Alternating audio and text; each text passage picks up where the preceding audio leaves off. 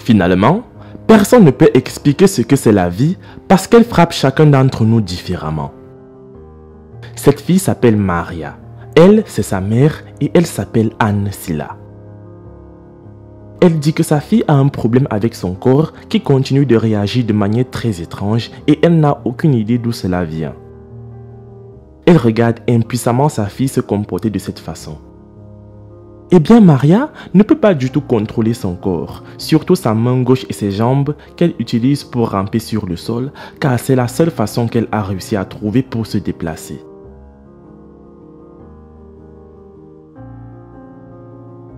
C'est incroyable. Mais Maria a 30 ans et personne ne peut dire qu'elle est si vieille seulement en la regardant, sauf les gens de ce village qui la connaissent depuis sa naissance jusqu'aujourd'hui. Elle vit seule avec sa mère car beaucoup de choses sont arrivées à leur famille, choses sur lesquelles elle n'avait aucun contrôle. Et voici son histoire. Mais avant de poursuivre les amis, voici la question du jour. Qui est le premier homme à avoir marché sur la Lune? A. Neil Armstrong, B. Buzz Aldrin, C. Charles Conrad. J'attends vos propositions dans les commentaires et la réponse exacte vous sera donnée à la fin de la vidéo. Sa mère dit qu'il y a de nombreuses années, elle est tombée amoureuse d'un homme, ils ont planifié de se marier, de vivre ensemble et d'avoir des enfants tout comme d'autres couples et comme c'est le cas dans toutes les familles, ce qui était une vraie réussite. Ils ont donné naissance à deux enfants. Maria était l'aînée et ils avaient une autre fille qui avait 5 ans de moins que Maria. À ce stade, tout allait parfaitement bien et ils n'ont eu aucun problème. Ansela dit qu'à présent, sa fille a 30 ans, mais elle vit de cette manière. Pourtant, sa sœur cadette est mariée et a deux enfants. Ils vivent dans cette société et pas très loin d'ici. Maria était une enfant très normale, tout comme les autres enfants. Elle marchait correctement, jouait, parlait et allait à l'école. Mais arrivée en troisième année, beaucoup de choses se sont passées dans sa vie. Elle a perdu son père et ce fut un choc terrible pour elle, sa sœur ainsi que sa mère. Mais elle devait rester forte et avancer dans la vie, parce que ce n'était pas quelque chose qu'elle pouvait changer ou même oublier, alors qu'elles apprenaient encore à vivre sans leur père, quelque chose est arrivé à Maria. Ansil a dit qu'elle se souvient que c'était un lundi et elle a vu sa fille jouer dehors avec d'autres enfants. Maria jouait depuis un moment, puis elle est rentrée et a dit à sa mère qu'elle était très fatiguée et qu'elle avait besoin de se reposer. Alors, elle est rentrée à la maison et a fait une sieste qui a pris un certain temps. Et selon Atsila, c'était la dernière fois qu'elle voyait sa fille normale. Elle a dormi très longtemps et Ansela, bonne curieuse, rentra donc à l'intérieur pour voir si sa fille allait bien. Et dès qu'elle est entrée et a posé les yeux sur Maria, elle était comme ça. Et elle a remarqué que son cou pourrait être cassé. Ansela ne pouvait pas réaliser ce qu'elle voyait. Elle a crié aussi fort qu'elle a pu et a appelé à l'aide. Beaucoup de villageois se sont rassemblés autour de la maison pour voir ce qu'il s'était passé et ils ont trouvé une fille qui était allongée et ne pouvait pas du tout bouger.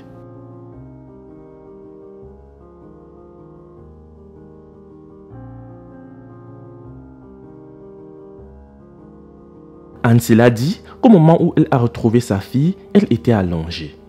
Elle avait uriné et déféqué sur elle-même, ce qui était évident qu'elle était déjà réveillée depuis plusieurs heures auparavant, mais elle ne pouvait bouger ou même dire un mot. Et jusqu'à présent, elles ne peuvent pas dire ce qui a provoqué cela.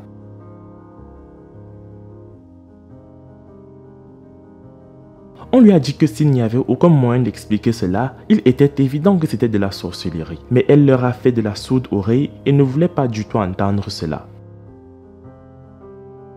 Selon Ansela, elle n'a jamais amené Maria à l'hôpital parce qu'elle n'avait pas d'argent.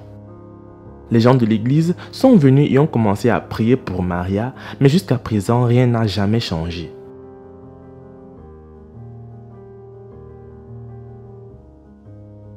Un jour, une femme est venue chez eux et leur a donné des médicaments à base de plantes et elle a dit qu'elle soignerait Maria.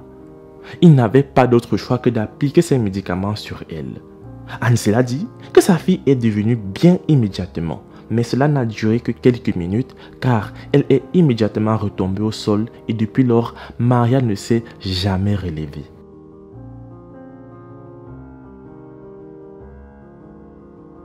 Évidemment, Maria a abandonné l'école car elle ne pouvait pas étudier comme ça. Alors, elle reste à la maison toute la journée et beaucoup de gens qui passent devant chez eux l'agressent et la frappent. Et ils pensent qu'elle ne peut pas comprendre ce qu'ils disent.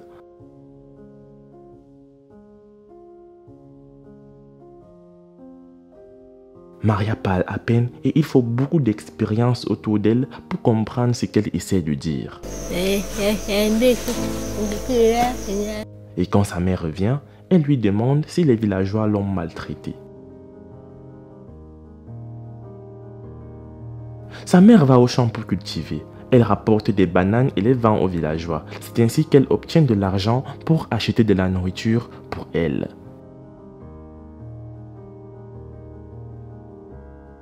Ce qui veut dire que Maria reste seule dans cette maison quand sa mère part au champ.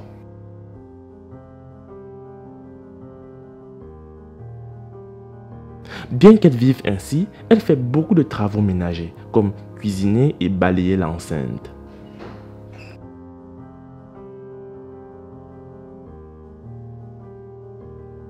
De temps en temps, elle va aussi au jardin et cultive, mais son cou est un très gros problème et elle est très faible. Elle demande de l'aide pour acheter un fauteuil roulant à Maria et les dons seront récoltés via le lien GoFundMe dans la description.